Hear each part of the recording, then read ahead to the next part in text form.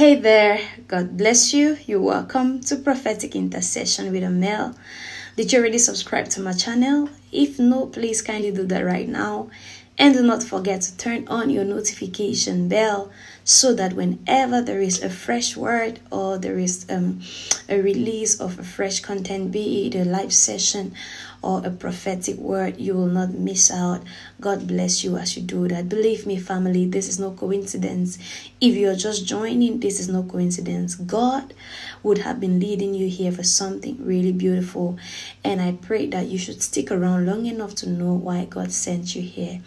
Hallelujah. Glory to God. I feel excited in my spirit.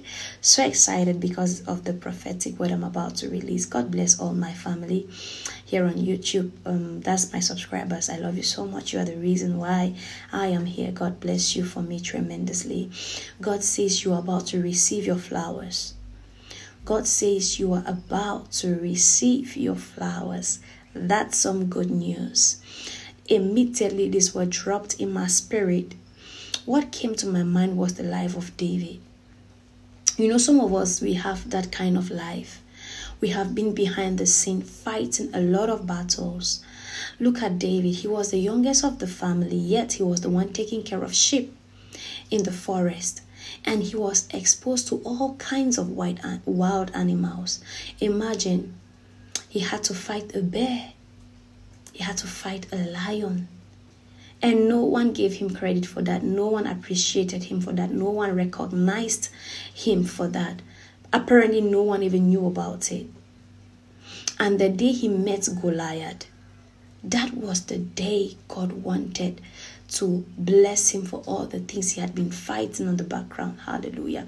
I feel so blessed just re- releasing this prophetic word. I feel so blessed. I feel like this is a word in season for someone. God is giving you your flowers.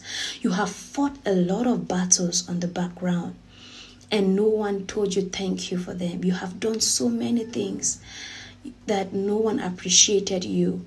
And sometimes it could really be tiring. Not like you are working because you need people's appreciation or you need people's approval, but sometimes just a thank you, just a well done can go a long way to make us feel you know refresh can make us feel um, um have the ability to push have the ability to keep going. And sometimes you even wait for to hear someone appreciate your your effort so that it can you know boost your morale. You just need that word of encouragement but it is not coming. Do not worry child of god. God is about to give you your flowers.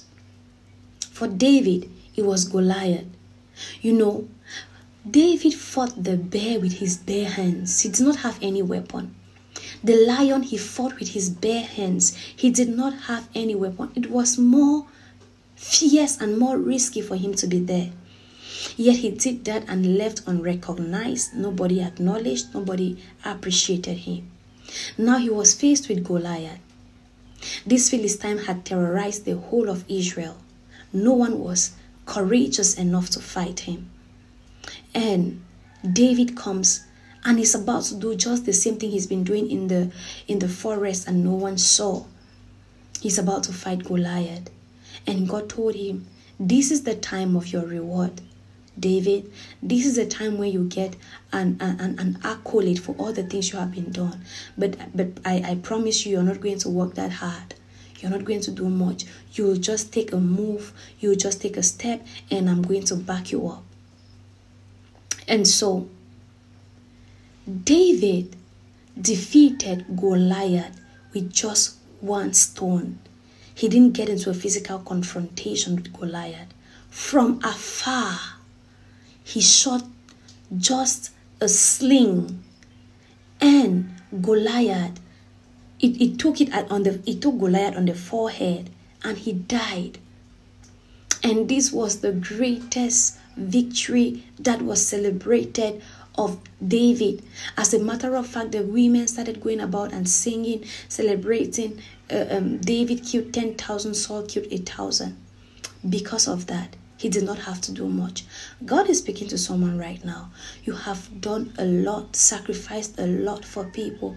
You have done so much, yet you are never appreciated. You have gone out of your way. You have put your, your, your life on the line, put yourself at risk just to make sure that some people have a better life. And yet you have not been appreciated.